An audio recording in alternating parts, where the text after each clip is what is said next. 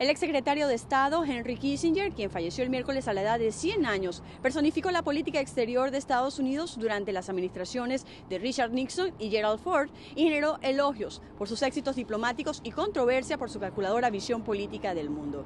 Su muerte fue anunciada por su empresa consultora y no se dio mayor detalle de su causa conocido por ser un académico ganador del Premio Nobel de la Paz y un destacado refugiado en Estados Unidos, que huyó, por cierto, de la Alemania nazi cuando tenía 15 años, Kissinger se convirtió en un ícono cultural inspirado en innumerables biografías, tanto favorables como no favorables. Las reacciones a su muerte nos hicieron esperar. El expresidente George W. Bush señaló que Estados Unidos ha perdido a una de sus voces más confiables y características sobre los asuntos internacionales con el fallecimiento de Henry Kissinger.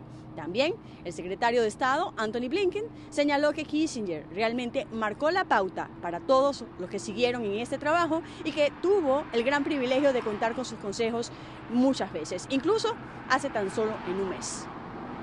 Les informó Sofía Pisani de La Voz América.